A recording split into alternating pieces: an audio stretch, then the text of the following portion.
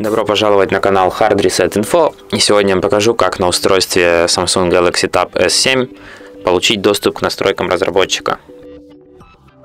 Для этого в первую очередь открываем настройки, спускаемся в самый низ, переходим в раздел сведения о планшете, затем сведения о ПО, находим строку номер сборки и кликаем по ней пальцем несколько раз, пока не появится сообщение «Режим разработчика включен». И теперь мы можем найти наши настройки разработчиков в настройках самым последним пунктом. Вот они все наши настройки разработчика. Также мы можем их отключить здесь, и они пропадут из списка настроек. И на этом все. Спасибо за просмотр. Подписывайтесь, ставьте лайки. И пока.